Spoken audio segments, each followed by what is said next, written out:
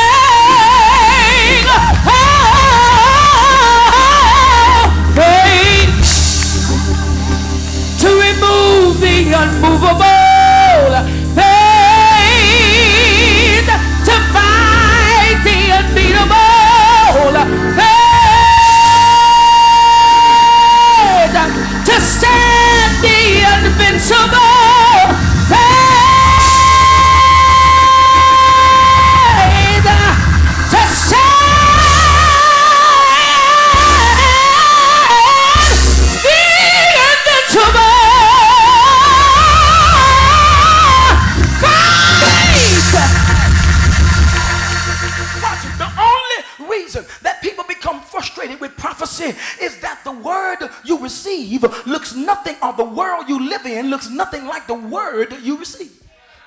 I'm in a place right now where I just need my world and my word. And tell somebody it can only match up one way because my word ain't coming down. So what's gonna have to happen is uh, my world gonna have to come up. Look at somebody and tell them my word ain't coming down. I want God to keep my word right up here. I want God to keep my word above my reach. And I'm praying that the Holy Ghost is gonna help my world to come up to my word. Because and how, how somebody say, well, Pastor, how in the world can your world come up to your word? Here it comes. Challenge. Because when the enemy comes in like a then the Bible says the Spirit of the Lord will lift up a standard. So it takes challenge for your world to measure up to your word.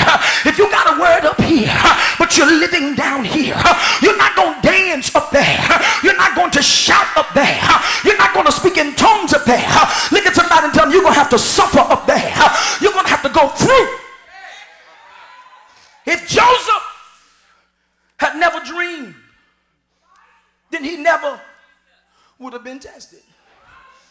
The only reason he was tested was because God gave him a word. Some of y'all done been through so much hell, you be like, Lord, take this back. don't do that. Don't do that. Don't do that. Listen to what I'm saying. Don't you let the devil make you want to give up your prophecy. I'm talking to two people right now, and they're looking me in the face and they're preaching. You have no idea that you're messing with me tonight because I got prophecy hanging over my life, and I know the world that I'm living in right now don't even measure up to the word that's hanging over my life, and I'm trying to keep from becoming frustrated about my lack of progress in God's purpose for my destiny. And the only thing I want to tell you right your word. If God said it was going to be so, then baby, you can take it to the bank. You can cash it tonight because if God said, Look at somebody and tell him he's able to do exceedingly abundantly above all that you can ask or think. Do I have anybody in the room right now that has a word hanging over your life? But it seems like the devil is trying to snatch your word. And I tell you this,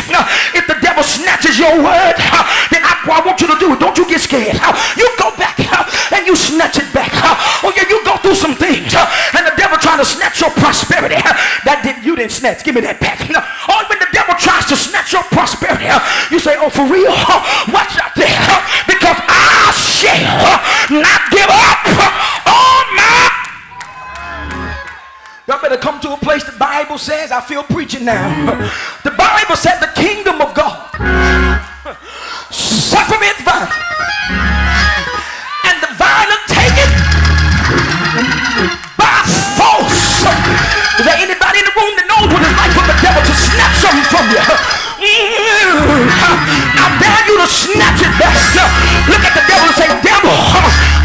is mine.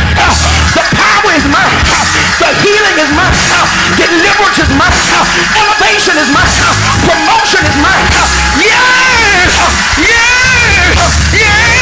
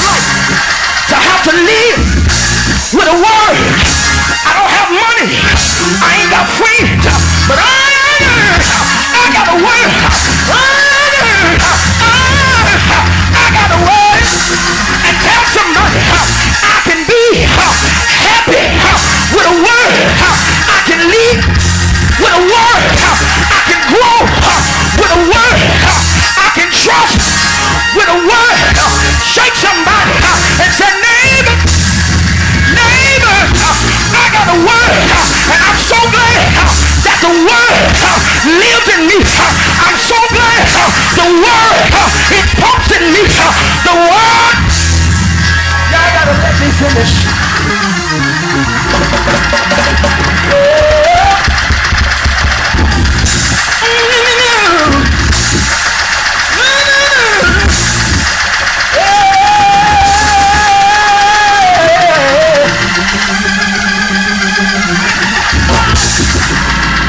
All right, let me finish my sermon.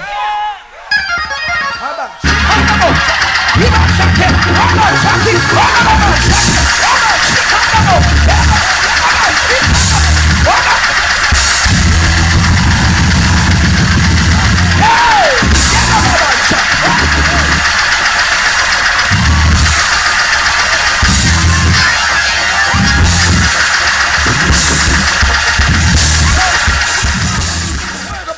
Saints. Look where he brought me from.